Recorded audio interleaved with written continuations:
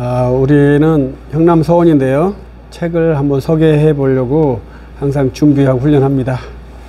먼저 어, 매월 세 권씩 한번 해보려고 하는데 이제 제가 게을러서 잘 못하는데 이번에는 이제 웨인 구르뎀이라는 큰 책을 한번 제가 구입한 기점으로 한번 찍어보려고 합니다. 먼저 어, 일터 교회 개척이라는 어, 저술입니다.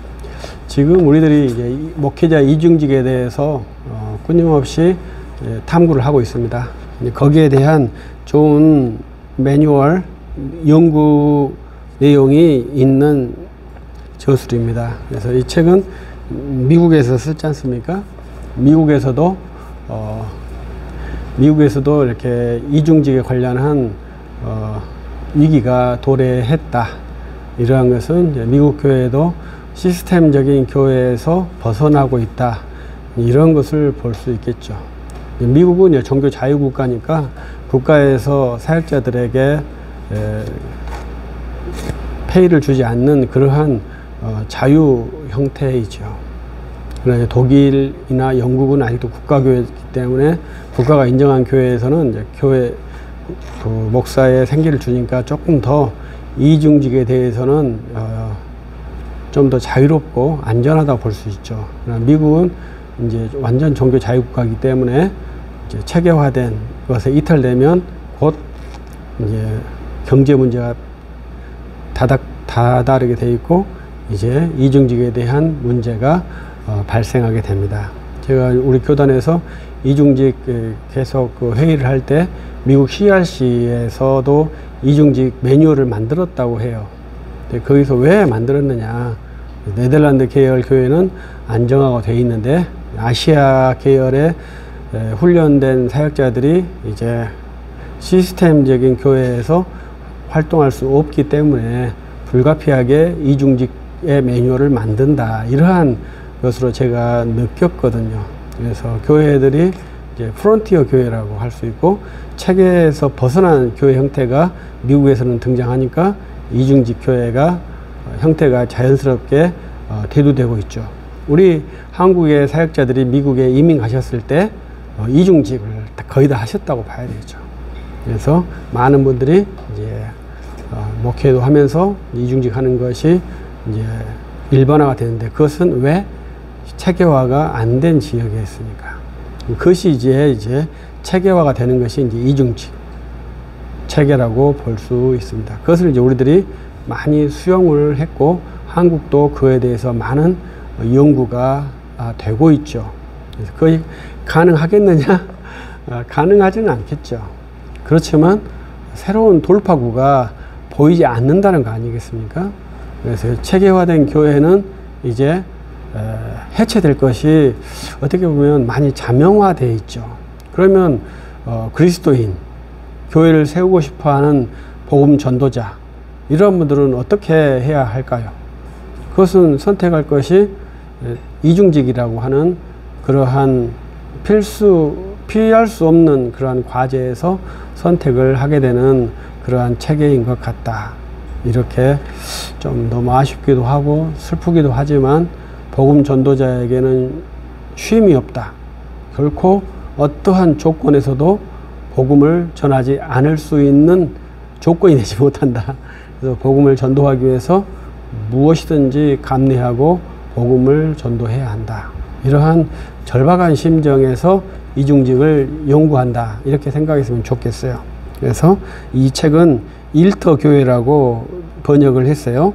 그래서 여기서는 어, Business and Mission이라고 해서 Marketplace Transformation에서 이제 비즈니스라고 비즈니스를 통해서 church planting을 하겠다라고 하는 그러한 개념으로 여러 여러 명의 연구자들이 내놓은 그 옴니버스 같은 그러한 연구집입니다. 그러니까 아직은 이러한 방면에 체계화가 안 됐기 때문에 연구자들이 여러 개의 글을 모아서 어, 체계화를 하고 있다 이렇게 이해하시면 좋겠어요. 우리들도 우리 교단에서도 겸직 목회라고 하는 어, 방대한 연구집을 만들어냈었죠.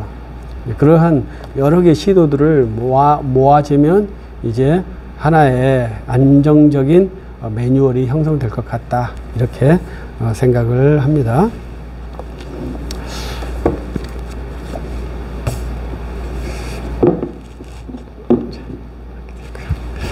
이 책은 이제 제가 소개는 안 하고 싶었는데요. 8월 15일이니까 8월 15일이 지나서 우리 한국이 그 약간 시끄러웠지 않습니까? 그래서 어, 대한민국 건국이 1948년이냐 1919년이냐 이렇게 크게 나눠지는 것 같아요. 근데 북한은 어, 언제 한, 언제를 한지 모르겠어요. 북한이 1919년을 하고 있는지 1948년을 하고 있는지 에, 거기는 아마 전승절 뭐 이걸 하고 있는지 그것들을 기원을 하면 저는 아직까지 그까지 조사는 안 해봤는데 우리나라는 1948년인가 1919년인가 이러한 어, 크게 의견이 나뉘는 것 같아요. 1949년도 3월 1일이냐 4월 10일이냐 또 이렇게도 나뉘는 것 같아요. 저는 1919년 3월 1일을 대한민국의 시작으로 보고 싶습니다. 그 전에는 대한제국이라고 봐야죠. 1910년에 대한제국이 국권을 상실했지 않습니까? 그때 빼앗겼느냐, 상실했느냐, 이렇게 많은 논란이 그것은 중요한 어휘가 아니죠. 사라진 것이 가장 중요한 거죠.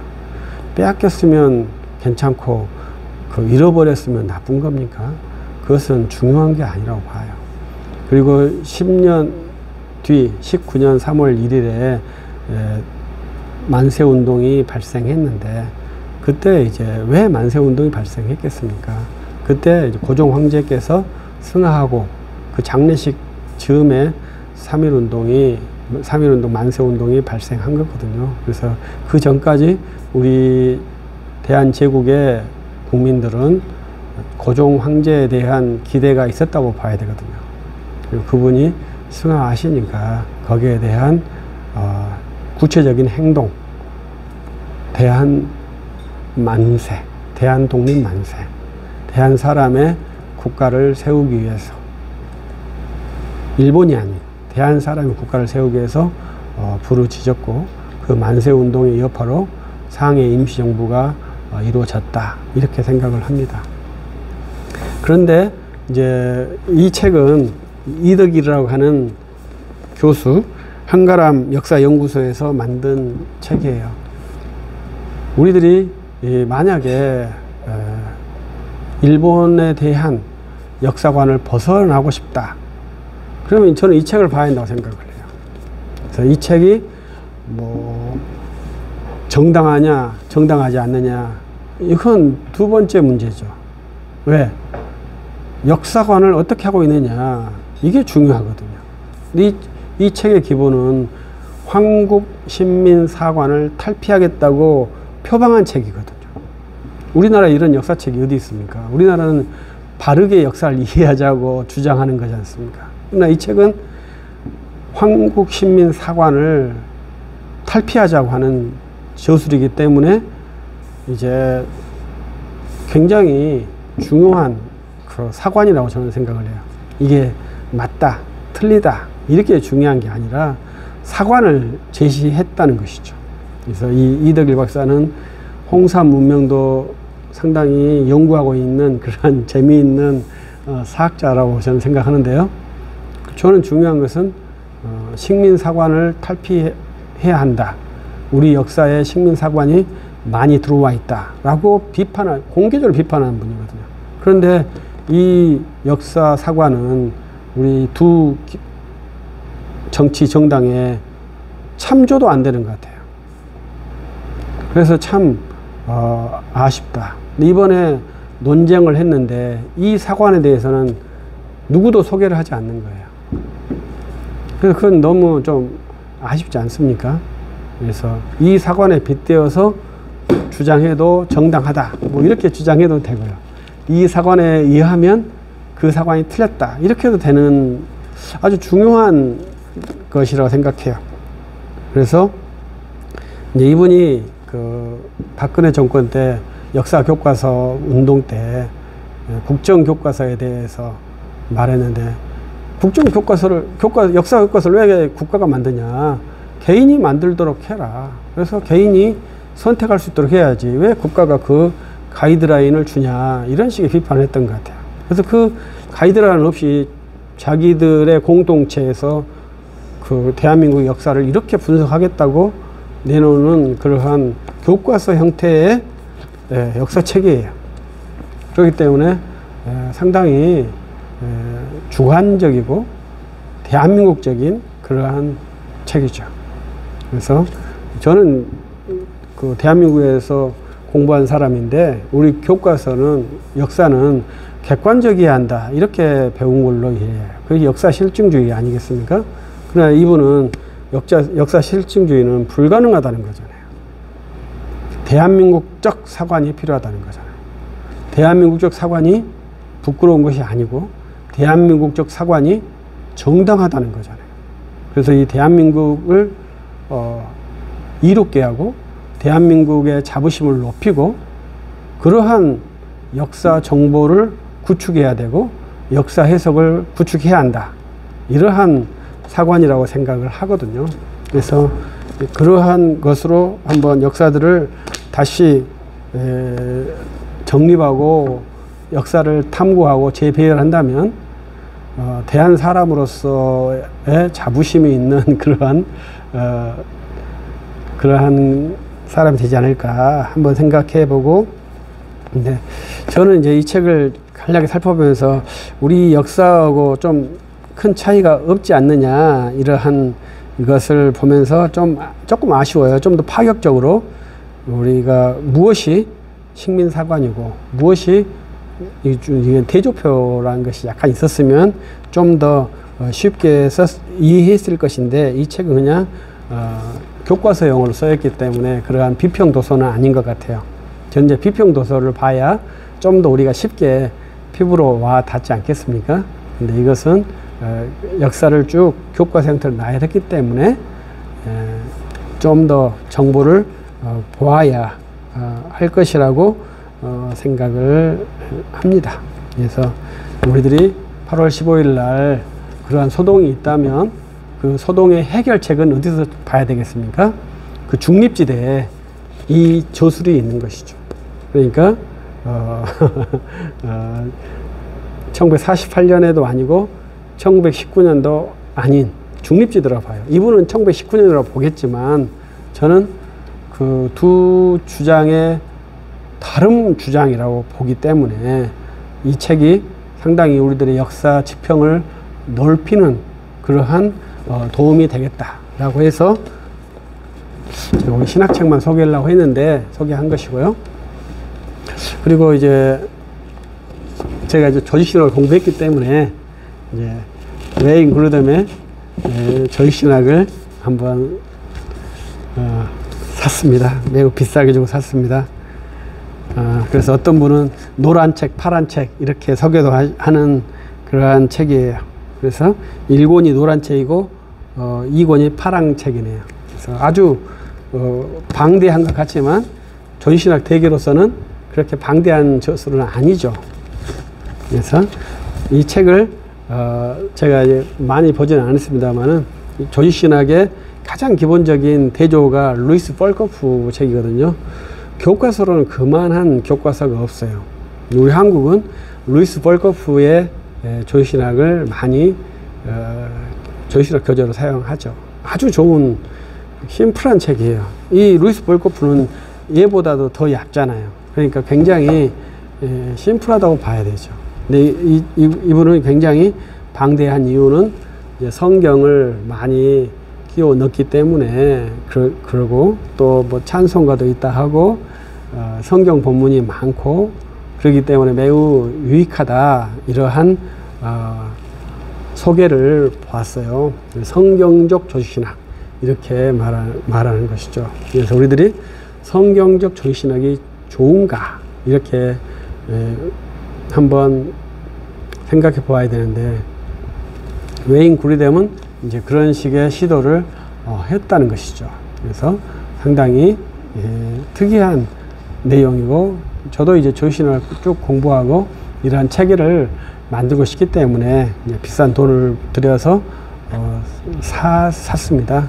그 여러 가지 그 저도 이제 루이스 벌코프 책하고 비교를 하면서 루이스 벌코프는 1900년대 중반 중반 초, 초중반이고 이것은 지금 증보되어서 어, 나온 그러한 현대 조이신학이지 않습니까? 그래서 약 100년의 차이가 있는 그러한 신학 정보들 어떻게 볼 것이냐 이러한 것들을 봐야 될 것이고 지금 가장 중요한 것은 성경의 무엇성 그리고 1962년대에 형성된 어, 종교다원주의 이러한 것을 어떻게 신학에서 핸들링하고 있는가 이런 것을 어, 보아야 할 것입니다.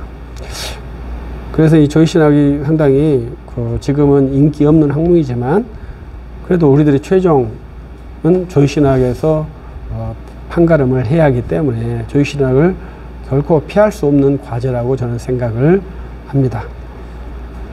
이번에 로잔 대회가 한국에서 열리는데 예, 한국에서 로잔 대회가 좋으냐 나쁘냐 좋다 위험하다 이러한 두 개의 주장이 있지 않겠습니까?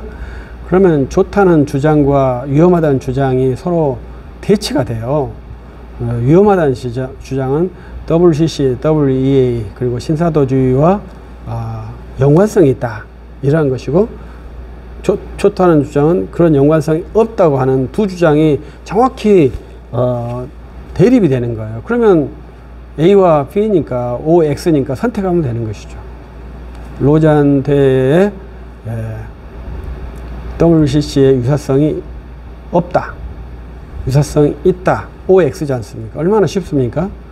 이런 것을 정확하게 구분한다면 좋겠, 좋겠죠. 그래서 이제 이분은 이제 어떻게 그러한 그 62년 2차 바티칸 회의와 어, 종교 다원주의를 어떻게 이해했는지 모르겠어요. 그러나 이미 70년대에 어, 세계 신학사조는 종교통합주의, 종교다원주의로 어, 신학이 이미 지나갔거든요. 그래서 신중심 신학이라고 합니다. 종교다운 신학, 그다음 종교통합. 우리는 쉽게 종교통합이라는데 신 그것을 좀 더 말하면 신중심 신학이에요. 하나님 중심 신학이 이제 그 신학입니다. 그래서 이런 것들을 어떻게 핸들링 했는지 이제 잘 모르겠어요. 그래서 어, 하나님 중심 신학이 왜 문제겠습니까? 그 무슨 중심 신학에서 의로 왔겠습니까? 그 이전에는 그리스도 중심 신학이었다는 것이죠. 그래서 그리스도 중심 신학에서 하나님 중심 신학으로 옮겨왔습니다. 옮겨졌어요. 그래서 그것이 하나님 중심 신학이 종교다원주의예요. 그래서 그러한 것들을 우리들이 조익신학에서 어떻게 어, 변호하고 할 것인가? 이런 것이 이 웨인 그루뎀 책에서 그것을 효과적으로 방하고 있는가? 제가 이제 김길성 교수님께 들을 때 웨인 그루뎀이 애언에 대해서 약간 개방적이다. 이렇게 제가 95년도 96년 97년 이때 그렇게 제가 어, 배운 것 같거든요. 그때 이제 그루뎀 책이 예, 번역돼서 있죠. 그런데 최근 다시 개정 중보되었다고 하니까 이제 큰 맘 먹고 다시 사 보았는데 어, 그 애언 애언에 대해서 개방적이다면 성경의 충족성에 대해서 약간 의심을 하게 되는 것이거든요. 그러면 이제 우리 계시에 대해서 약간 스탠스가 흔들린 거예요. 이러한 것들을 이제 구르뎀 교수가 어떻게 보았는지 이런 것들을 한번 어, 주의 깊게 살펴보고 이제 저도 이제 칼 발트에 대해서 영상을 찍으려고 합니다만은 어, 칼 발트가 좋습니까 나쁩니까? 그건 중요한 게 아니죠. 자기의 기준이 무엇이고 칼 발트의 기준이 이것이다. 내 기준과 칼 발트의 기준이 다르다. 이걸 말해줘야 되는 것이죠. 칼 발트는 나쁜 사람이니까 그 신학을 거부해. 이건 안 된다 이 말이죠. 그래서 나의 신학이 무엇이고 교회의 신학이 무엇이고 칼 발트 신학이 무엇이고 이거에 대해서 정확하게 정립을 해주고 판단을 하도록 유도해 주는 것이 저는 어, 선생의 직무라고 생각합니다. 이 사람은 나쁘니까 미워해. 이것은 너무 맹목적이지 않습니까? 또 비인격적이잖아요. 그래서 꾸준하게 우리들이 할 때 가장 중요한 것은 나는 어떤 신학 스탠스를 갖고 있는가. 첫 번째, 성경의 무호성을 견지하고 있는가. 성경의 정확 무한 사상을 가지고 있는가. 그래서 성경의 충족성, 계시애가 중지됨, 이러한 사조가 정확한가. 그러니까 계시가 중지되었다고만 생각하기만 하면 굉장히 많은 신학적 분별력이 발생합니다. 근데 거기에 대해서 우리들이 분별하지 못하니까 여러 개의 신학을 다 어, 허용해버리는 그러한 어, 폐단이 발생해요. 그것은 어쩔 수 없죠. 분별력이 없기 때문에 그런 것이죠. 그 분별력이라는 것은 자기의 정확한 신학 스탠스예요. 그리고 스탠스가 모이면 프레임이 되거든요. 그래서 모든 standing point가 잘 유기적으로 연결, 연결이 되면 신학의 메커니즘이 있는 거예요. 그러나 그 스탠스, 신학의 포인트만 갖고 있는 분들은 메커니즘이 없이 어, 신학의 확고한 신념만 가지고 있는 그러한 상태라고 어, 봐야 되겠죠. 우리 저는 신학의 메커니즘을 만들려고 훈련을 한 사람이거든요. 그래서 그 메커니즘을 만들기 위해서는 정확한 신학의 스탠스가 있어야 돼요. 내 신학의 포인트, 신학 서론의 포인트, 삼위일체의 포인트, 기독론의 포인트, 구원론의 포인트, 교회론의 포인트, 종말론의 포인트 이런 포인트들이 있어야 되고 이 포인트가 메커니즘적으로 돌아가면 이제 그때부터는 사유 체계가 돼서 flexible한 사유 체계를 만들어서 많은 사람들과 교류하고 사유 체계를 어, 강화시키고 또 증진시키는 그리고 수정하는 그러한 훈련을 하는 것이 저는 학문의 훈련이라고 생각을 하고 이 웨인 그루뎀의 사유 체계 이 책이 많은 신학교에 교재로 쓰인다고 이렇게 선전을 했어요. 그건 이제 선전용이지 그것이 이 교재를 미국 학생들이 어떻게 읽는지를 모르겠어요. 그러나 이것을 몇 년에 읽겠습니까? 결코 쉽게 읽을 수 있는 분량은 아니죠. 그래도 이제 이런 분량이 성경의 그 본문 인용들이 많기 때문에 빠르게 읽을 수는 있겠죠. 그래서 이제 이 스탠스가 있다면 이 스탠스의 비교 스탠스가 뭐겠어요? 루이스 벌코프란 말이죠. 루이스 벌코프의 책과 이 웨인 그루뎀 책 두 권을 읽어 병렬을 읽어야 이제 약간 밸런스를 맞는 맞출 수 있는 것이죠. 그래서 어, 우리들이 신학 훈련에서 중요한 것이 그런 밸런스라고 비교점이라고 생각을 해요. 한 권만 읽으면 그건 외골수라고 봐야 되잖아요. 그래서 그것은 어, 학문으로서 좋은 것이 아니죠. 이번에 책은 웨인 그루뎀의 책과 어, 일터 교회의 개척 그리고 우리나라 역사 교과서 이덕일 박사의 한가람 연구소에서 만든 어, 저술 이런 것을 함께 이야기를 해 보았습니다. 이제 또 일회 서원에서 나온 책도 함께 어, 소개해 주려고 했는데 제가 잠깐 그 책을 차에다 놓고 온 것 같아요. 그래서 다음에 그것은 SNS로 어, 함께 또 소개하면서 어, 살펴보도록 어, 하겠습니다. 우리 형남서원은 책을 읽는 것을 굉장히 장려하고 좋아합니다. 그래서 우리들이 책을 너무 많이 읽지 않는다고 해요. 책을 많이 읽는 그런 크리스천이 돼야 됩니다. 그래서 크리스천들은 이제 우리 신앙 도서도 많이 읽어야 되고 일반 인문학 도서들도 많이 읽고 그래서 가장 지성적인 면모를 가져야 아, 할 그러한 인격체라고 생각합니다. 그래서 크리스천 지성들이 책을 많이 읽고 이 사회에서 가장 건강한 지성체들이 된다면 우리 사회의 소금으로서 또 빛으로서 중요한 역할을 할 것이라고 생각을 합니다. 형남서원에서 어, 이번에 이야기한 세 권의 책, 또 모든 책들을 저는 읽기를 바래요. 그래서 많은 책들을 읽고 또 많은 책들을 소장하는 그러한 어, 책 문화가 크리스천들에게는 꼭 형성될 수 있기를 기대합니다. 감사합니다.